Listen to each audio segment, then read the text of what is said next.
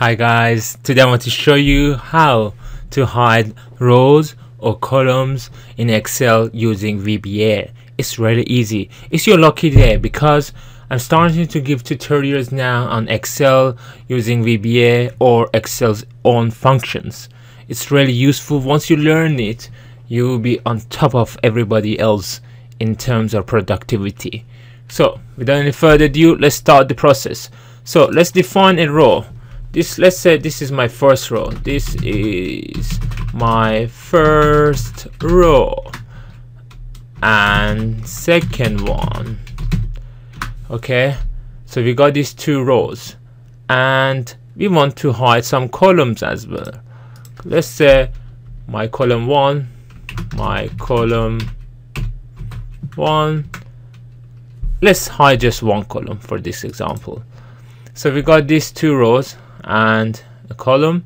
And we want to say uh, yes or no for example. So let's quickly define yes or no.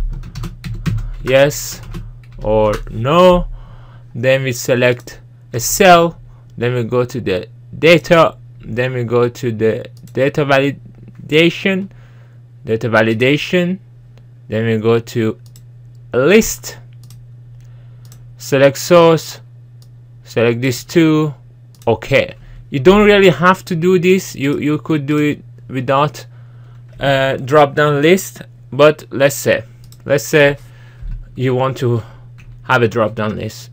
Hide rows 4 and 5 it's a question. So and we got yes or no yeah? Here don't forget that. Yeah? Okay so what we have to do next is to go to the developer. In the developer we need to go to Visual Basic. When we go to Visual Basic select sheet 1 and then start typing what I'm typing okay? Type private then write sub then write work sheet underscore change val target as range. Close enter. Let's define a dimension. Key cells as range. Enter. Set key cells is equals to range. Okay now where it was our yes or no? You need to go back here. It was b1 yeah? B1 so write b1 close bracket enter. Enter. If not application dot intersect okay key cells comma range target dot address. Okay close close. Is nothing then enter. If okay. Key cells is equals to yeah. If is equals to yes then what we want to do? Hide some rows rows. Which rows? Now we need to go back there and check which rows we want to hide.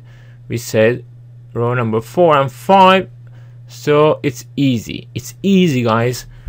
Four double quote five five yeah?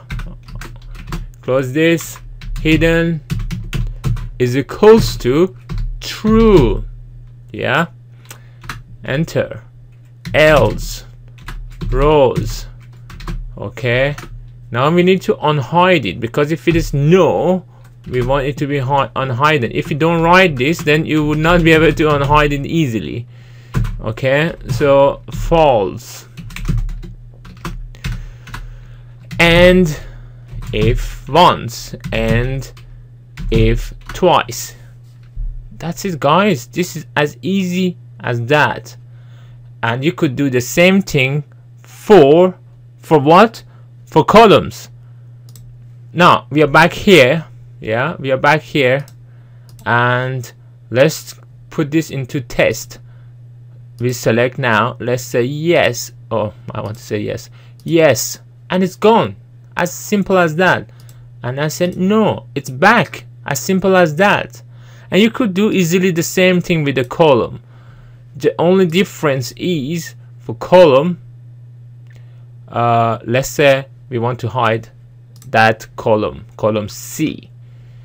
What we got to do if when it's yes column C to hide. So we go here and we add that as well. So what we have to write is columns yeah C just C dot hidden is equals to true. You need to also not forget to apply the same here to make it visible once it's gone.